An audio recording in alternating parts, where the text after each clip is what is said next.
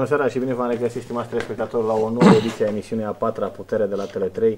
Orele 19 suntem alături de dumneavoastră cu tot arsenalul nostru din punct de vedere al presei, vorbim acolo pentru a vă pune la dispoziție cele mai proaspete informații necosmetizate, neprelucrate pentru ca dumneavoastră să vă puteți evalua viitorul în baza șanselor și așteptărilor pe care considerați dumneavoastră că le meritați și pe care le merităm fiecare dintre noi. Astăzi, alături de noi în studio și implicit de dumneavoastră, în casele dumneavoastră, îl avem pe binecunoscutul Ion Tudor. Bună seara, bine ați venit, domnul Tudor. Bună seara, bună seara tuturor cei care ne privesc. Mă bucur că ne revedem după o perioadă agitată, sigur, și destul de îndelungată, până și destul, de, destul de mult din studioul nostru. Da, nu știu ce s-a întâmplat și Fost agitați de campania electorală, o lună de zile ne-au obligat CNA-ul. unde ați dispărut? Așa, ați fost în ceață, în ceață da, v-ați luat concediu, ce s-a întâmplat? Că, na, mi-era dor obișnuința să pornesc seara televizorul și a mai, nu erați. A mai fost, a mai fost că ne-am obligat CNA-ul, am avut niște reguli stricte de respectat și n-am avut încotro. Da, corect. Invitații către PSD au fost trimise, dar n-au dorit să vă trimită pe dumneavoastră. Cred că vă trimiteau pe dumneavoastră din partea Partidului Social Democrat. Eu okay. nu mi-am făcut probleme că nu m-au trimis, nici nu, nici nu am făcut așa parte din nucleu acolo care să Vedeți, sunt... Cum uh, ați fost acolo cu domnul Ion Călinău, să uh, pune județul la cale, să-l suci, să-l răzuci, să-l fierbe, să-l scoateți iar, să puneți anumite prafuri spre el, să-l băgați iar în, în să știți, la dospit. Dacă vă amintiți că noi mai discutam înainte și cu luni de zile înainte și când îl, îl certați și când nu eram și eu... Noi, ei, na, vorba vine așa, știi, mai dojeneați. Uh, nu, era foarte clar de atunci că uh, președinția județului va fi continuată de domnul Călinoia. Și să vă spun și de ce. Nu vreau să vă surprind, nu vreau să surprindă pe nimeni. În condițiile în care partidul a avut un rezultat foarte bun. În condițiile în care situația nu este foarte liniștită pentru noi ca pentru PSD-ul, pentru că sunt destul de multe încrâncenări și la nivel național și la prin județ, sunt multe dorințe, multe voințe. Măsura cea mai bună pe care a luat-o la județ partidul și poate și la nivel național de a continua cu domnul președinte Călinoiu este, era imperios necesară, pentru că trebuia stabilit, făcut un pic de ordine, trebuia puse foarte bine lucrurile la punct, stabilite niște ierarhii în continuare la partid. Eu cred că și dumnealui a învățat ceva din uh, strategia domnului Florin Cârciumaru, care își pune bine lucrurile la punct optimist, și după aceea continuă cu alte activități. Așa că oricare ar fi venit la prezidență, nu zic, eu nu, nu zic că este cel mai bun domnul Călinoiu, dar dacă tragem o linie și adunăm, totuși are mai mult plus decât minus. Ca și pe, pe linie de administrație, are destul de mult plus. Ei, oricare ar fi venit în, în locul dumnealui, nu putea să țină în, să, să țină în mână, în propriu spus, dar oricum, să pornească la drum cu un Consiliu Județean destul de colorat. Un Consiliu Județean cu destul de mulți uh, uh, membri, chiar în cadrul aceluiași partid, cu gândiri și opinii diferite. Eh, a fost nevoie și s-a considerat și pe bună dreptate că este nevoie să se să continue cu dumnealui. Probabil că, probabil, nu știu, în toamnă va merge la Senat, probabil va rămâne patru ani, dar eh, eu sunt convins că dumnealui eh, are în calcul eh, să gândească și gândește ce se va întâmpla peste patru ani. Da, adevărul cine va veni, domnul Ion cine... Călinu e un profund gânditor, asta am remarcat-o și noi din uh. cele spuse de noastre. și în registru, râdem, râdem în registrul da. celor spuse de noastră, vreau să-mi spuneți procentual cât înseamnă din votul obținut de PSD munca aleșilor locali și consilieri locali și cât înseamnă votul lui Ion Călinoiu. Acum să știți, dacă nu există o simbioză, nu, nu dacă nu există o simbioză și dacă nu există, doamne, după atâția ani, era firesc totuși ca și președinte Consiliului într-o, să fie Într-o simbioză de care o spuneți dumneavoastră, știți că de regulă este unul care muncește și unul care este parazit. De regulă asta presupune o relație simbiotică. De acord cu dumneavoastră. Dar să știți că în, în ultima perioadă a reușit să formeze, să strângă o echipă una, o echipă puternică la Consiliul Județean de oameni care au muncit, furnicuțele alea care au muncit și A, au de să înțeleg că domnul Ion Călinoiu, relația simbioză e celălalt. Nu, nu, nu, este cel care de multe ori avea nevoie și de bici. Da? Dar, dar, nu trebuie să se supere nimeni. De data asta, în multe localități, în multe localități, rolul partidului a fost uh, prioritar. Și eu cred că și la nivel de județ, un număr foarte mare de voturi, poate numărul de voturi este pe, pe partid, este mai mare decât dacă ar fi fost pe persoană. Și vă, vă spun și de ce. Am, vedem același lucru și cu domnul Florin Cârciumaru. Aici se reproșează lui Florin Cârciumaru. Cârciumaru, într-adevăr, a fost o locomotivă a PSD-ului. Faptul că a fost tocat o lună de zile și încă mai mult, de vreo 3-4 luni de la începutul anului, au fost indivizi care nu știau decât veneau și făceau ham, ham, ham, ham. Adică cum latră câini în Giurgiu, asta făceau la televizor. La Gorj mai degrabă, că suntem pe la Gorj pe aici. Pe la Gorj da. pe aici, dar latră, nu, latră un câini în Giurgiu sau de la Gorj. Sau de la Cârciumaru în primărie la Gorj. Da. Ei, dumnealui și-a văzut de treabă, i-a lăsat în pace, a venit cu problemele concrete, care, probleme pe care le prezenta obștii localității, și n-a ținut cont. Deci să nu credeți că nu l-a durut și nu l-a deranjat. E normal, suntem oameni. La fel a fost și cu președintele Consiliului Județean. Și că domnul Călinoiu a fost tocat mărunt, mărunt, mărunt. Și e normal că din 10 oameni care vă, îl votau pe, pe domnul Cârciumaru sau pe domnul Călinoiu, după 3-5 luni de zile de tocat a acestui om, să zică 2-3, bă, nu, bă, nu mai votez cu ăsta. Eu votez cu partidul, dar nu mai votez cu el. Deci, nu știu dacă este o vină a liderilor de partid sau în speța domnul Călinoiu sau domnul Cârciumaru dacă ar fi avut mai puține voturi decât partidul. Însă au reușit și au uh, destul de bine, vă spuneam, prin cei care au făcut parte din, uh, din staff, au reușit destul de bine să mobilizeze. E, au fost și localități unde au fost surprize, Motru, unde e, PSD-ul a pierdut pe mâna lui. Eu mi exprim, mi-am exprimat punctul de vedere de mult, nu l-am, nu, nu l-am spus, nu am vrut să mă duc să zic lumea că sunt strateg, deși poate eram mult mai strateg decât mulți de pe acolo, după atâția ani și de campanie și de politică și după atâția ani de pus mâna pe carte. Și al doilea municipiu din, din județul Și al doilea municipiu de, pentru că acolo s-a dus doamna Claibani, a luat din voturile PSD. Domnul Dobrică, viceprimar, indiferent că a mers pe ALDE, a luat din voturile PSD-ului. Și a mai fost uh, la un EPR-ul uh, candidat, un inginer tânăr, copilul fostului primar, Iorga. Păi ăștia au luat, de unde au luat? Dacă, am, dacă ar fi să adunăm toate voturile, ne-am dat seama că uh, Teoretic, teoretic, Cosmin Morega ar fi trebuit să fie primar. Practic, cu mult, înaintea, cu mult înaintea celorlalți. Și după aceea, a venit această surpriză pentru mine plăcută, vă spun sincer, pentru că eu sunt totuși și rămân un om păi, de stânga, e greu de crezut. a făcut, era persoana care strângea cotizațiile pentru PSD până mai recent. Asta deci a fost. tot un PSD asta este, deci trebuie să vă consoleze sau să vă bucure asta. Nu, nu, pe mine nu mă bucură, nu mă consolează faptul. Astea sunt alegerile, asta este până la urmă democrația, oamenii și exprimă. Însă pen, pen, pentru noi ar trebui să fie un mare semn de întrebare ca să ținem cont altădată să nu ne izbim de, de asemenea, de asemenea situații.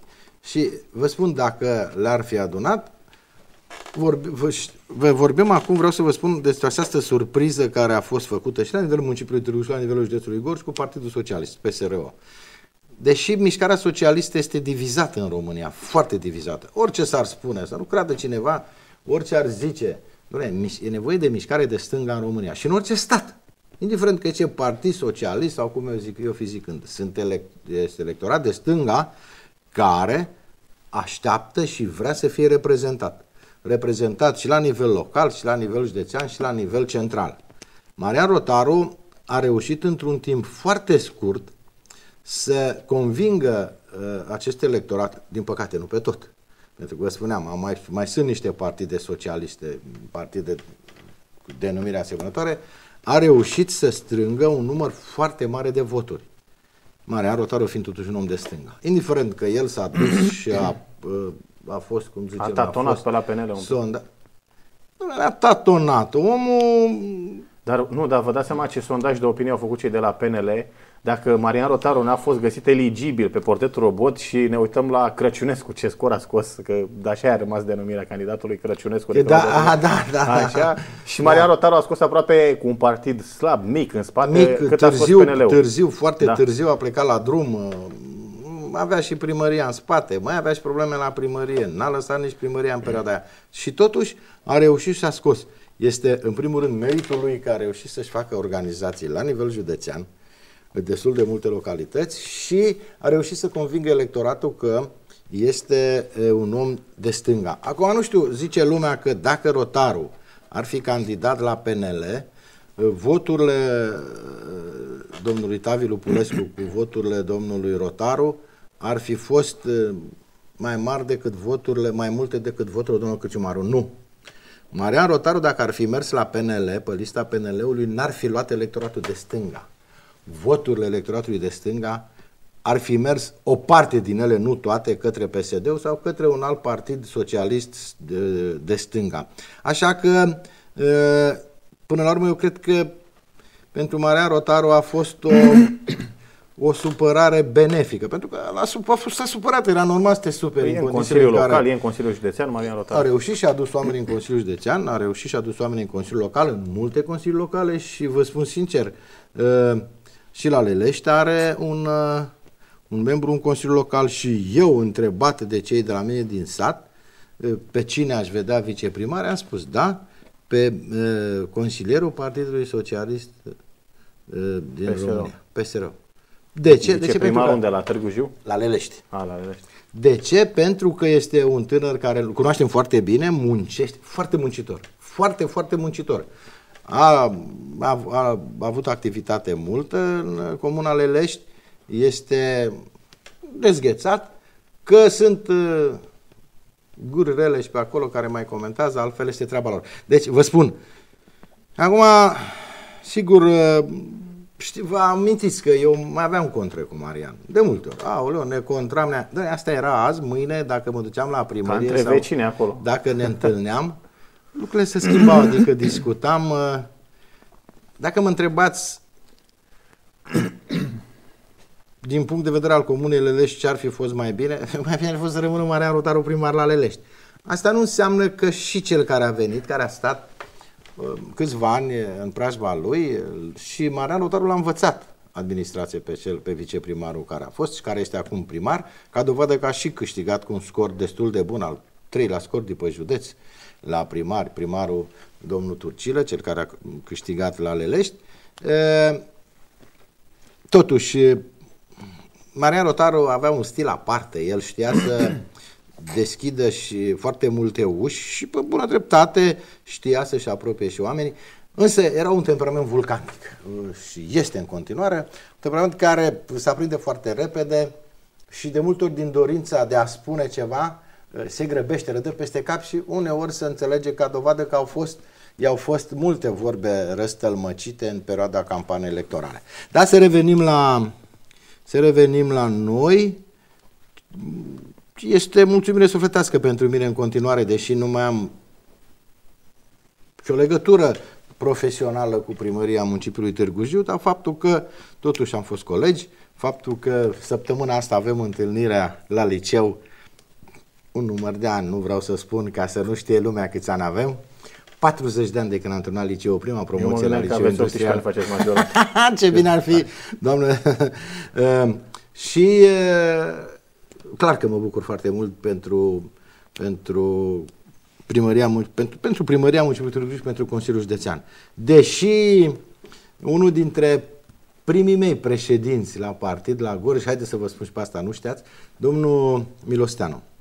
Eu zic, Gheorghe Milosteanu, Gheorghe Milosteanu. De la, de la da, da, de la PDSR. Eu zic și acum, domnul președinte, m-a dojenit rău într-o seară, după, după aceea mi-a explicat cum stau lucrurile și eu m-am înțeles. Uh, eu am, început, eu am început cu Partidul Socialist, am mai spus-o și o repet. Și eu și Adi. Adi a fost în ultima perioadă, înainte de a fuziona PSD, PS-ul cu... A fost președinte pe țară. Da, se trece. Terminăm cu politica. Rămân la părerea că... Vreau să vă întreb cum vă explicați absenteismul ăsta la vot în Târgu Jiu și anume 62%, la, 62% din bazinul electoral a lipsit și doar 38% și-au manifestat intenția de vot. Ce înseamnă acest absenteism la vot? Eu uh, merg mult prin județ. Am fost șapte ani Vorbim jumătate... de Târgu Jiu, că în Târgu Jiu Mă ascultați. Șapte ani jumătate am fost în municipiul Târgu Jiu, în echipa primarului Cârciumaru, am condus poliția locală, o instituție prin natura serviciului trebuie să fiu mereu între oameni și cu oameni. Noi avem un mare păcat și în general electoratul din România și nu numai al PSD-ului. dar mai ales al PSD-ului. Da, dacă îl întreb, domnule, cu cine votez? Cu PSD-ul. PSD-ul. PSD-ul. Da? Da, bun. Și dacă după el întreb duminică, domnule, merg să votez. Nu, nu merg, bă, că și așa este PSD-ul. Deci există această uh, mentalitate care nu ne iese din cap. Și la, e valabil la multe partide. Eu am întâlnit vecini și la țară și în alte părți care spun, bă, eu votez cu rotarul. Mm. Da, că îl votează alții. Dar și eu votez nu cu cârciumarul. Da. Eu votez cu cârciumarul. Cârciumarul iese, nu mă mai duc eu plec la țară sau plec în altă parte. Aici mentalitatea asta în care nu doresc să-și exprime opțiunea de vot, indiferent că ar vota cu PNL, cu PSD, cu UNPR, Indiferent. Cu PNP, deci, cu... nu, el, în nu el, duc, da. dar el dacă îl, el în consideră să crede că, că a votat, că a câștigat la care a vrut votat, el. Exact. exact. Da. Ei, aici este problema. Poate că poate că un pic la nivel, poate că nu, nu mai mult ar trebui făcut o pregătire a cetățeanului, adică de, să înțeleagă, băi, fratele meu, trebuie să, și partidele, dar și la nivel național, participarea la vot. Acum, să nu creadă cineva că dacă uh, ieșeau mai mulți târgujieni, n-ar fi câștigat Cărciumarul. De departe câștiga, știi? De departe. După atâtea mandate, după, vă spuneam, Aici e interpretabil exact ca în cazul lui Victor Ponta, în momentul în care a intrat în turul 2 la prezidențiale. În momentul în care se ieșea, ieșea electoratul până la 50%, se știa clar este Victor Ponta. Același lucru era valabil și aici. De la 50 la 55-57% se juca. Exclus. Dacă ieșea peste 60%, nu, nu, fa- nu. Faceți, faceți un pariu, domnul Facem un pariu facem un pariu. Singura, e, singurul, sigur, ar mai fi fost. Nu, no, asta de la așa, 55% nu, încolo se joacă orice asta, Asta, asta este punctul de vedere, de vedere al uh, unora care au pierdut alegerile și păi care păi nu, stați la, se bate cu apă la, În turul 2 la prezidențiale, Iohannis a câștigat Acolo alegerile. Acolo altceva. Turul 2 la prezidențiale. Și ați Iohannis, văzut prezența aproape Iohan... 60% și acolo s-a schimbat totul. Când s-a depășit pragul de 55% s-a știut clar Iohannis este Adică este acord cu Iohannis a fost numit președinte, nu? Sau cum? Nu a fost, a fost ales, n-a fost numit pre... Dumneavoastră vă lăsați să se înțeleagă nu, alte lucruri. Uh, nu, că a fost nu, numit. este cu totul altceva. Alegerile pre... este cu totul altceva. Alegerile prezidențiale nu, noi vorbim strict procentual. Strict procentual.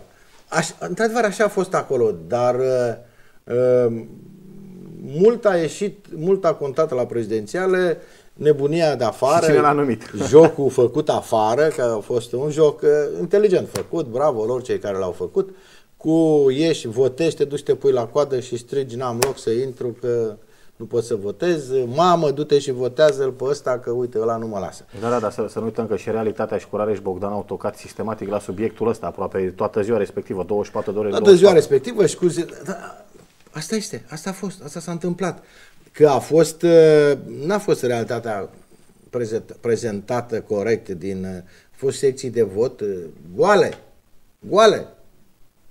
Nu să, da, să revenim la, aici la singura mare surpriză care s-ar întâmpla dacă are și 80%, 85%. Nu 80, 60%, la 60% nu. s-ar schimba radical tot. Nu. Singura mare surpriză știți care ar fi? Ar intra UDMR în uh, Parlament. Vă surprinde. Da, la peste 60% știu și eu, nu intră da. în Parlament. Da. da. În rest, uh, cam tot acolo. Păi, de ce, de ce vin cu, cu și îmi susțin ceea ce spun? Faptul cu discuțiile cu oamenii pe care eu le-am avut cu oameni care și de stânga, și de dreapta, și de la PNL, și de la PMP, au spus, nu mă las că și așa iese. Las că este și fără mine. Plus uh, nehotărâții.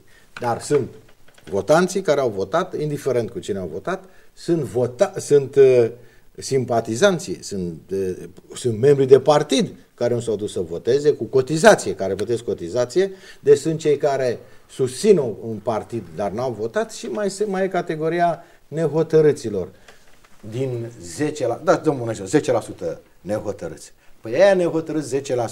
Ar fi să fie două partide, PNL și uh, PSD Aia 10% noastră credeți că toți ar vota cu PNL-ul? Nu, nu sub nicio formă. Sub nicio formă. De asta zic, așa votul. că nu. În momentul în care se fragmentează de... votul, la... automat jocul electoral ia anumite direcții pe care politicienii, liderii de la vârf nu mai pot controla.